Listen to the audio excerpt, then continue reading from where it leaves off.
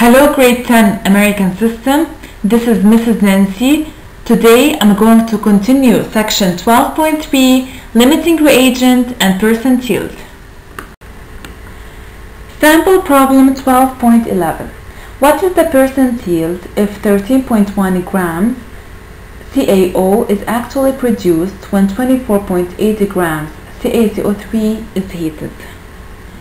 So use the equation for percent yield and the theoretical yield for this problem was calculated in sample problem 12.10. So, percent yield equal actual yield divided by theoretical yield times 100% equal 13.20 grams divided by 13.90 grams times 100 equal 94.2%. Number 32. If 50 grams of silicon dioxide is heated with an excess of carbon, 27.9 grams of silicon carbide is produced. So, what is the percent yield of this reaction? Molar mass of SiO2 equals 60.1 grams per mole. So step 1, find the number of moles of silicon dioxide, which is equal to mass divided by molar mass equal 50 grams divided by 60.1 gram per mole equals 0.831 mole. Then Write the number of moles of SiO2 divided by the coefficient 1 equal number of moles of silicon carbide divided by the coefficient 1.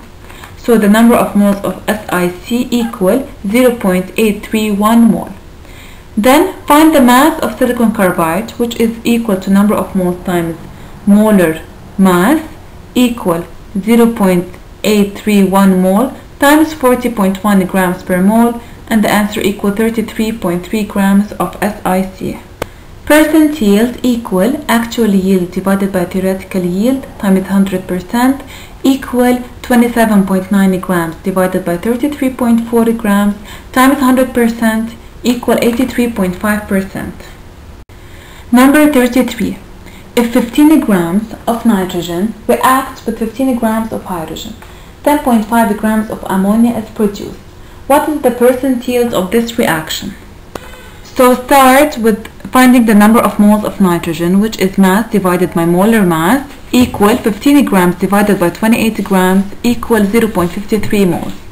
Then find the number of moles of hydrogen, which is equal to mass divided by molar mass, equal 15 grams divided by 2, equal 7.5 moles. Then identify the limiting reagent.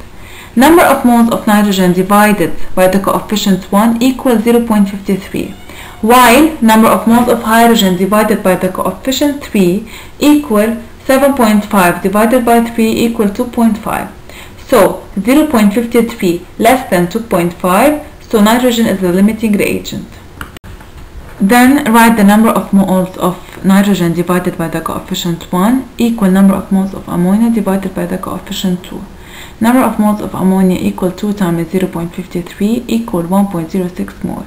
Number, then find the mass of ammonia, which is number of moles times molar mass, equal 18.02 grams.